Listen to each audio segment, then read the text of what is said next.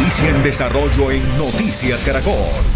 Más noticias nacionales. Indignación en Itagüí. Casó la noticia del robo que delincuentes le hicieron a un cantante vallenato.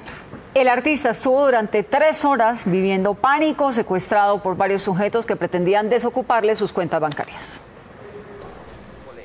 Horas de terror vivió en Medellín el cantante de vallenato Jorge Pabuena, luego de ser secuestrado por delincuentes que pretendían robarle. Me dirigía con un amigo hacia el cumpleaños de un colega cuando fuimos interceptados por, por un carro y, una moto. Eh, se bajaron dos personas armadas y nos dijeron que era un atraco y que teníamos que entregar todo.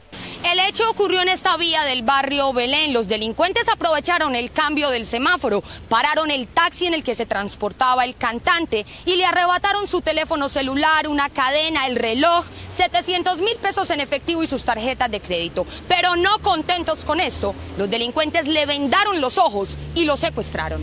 Mm, Me llevaron más o menos como media hora hacia un sitio y allá me, presi- me presionaba mucho que, que debía ir a un cajero electro- electrónico, eh, entregar todo el dinero. Pero decirles quién era fue peor. Su pesadilla se prolongó por tres horas.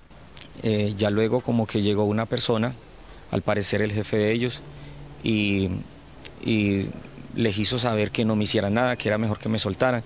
Aunque hasta el momento el artista no ha puesto la denuncia, las autoridades aseguraron que ya adelantan la investigación.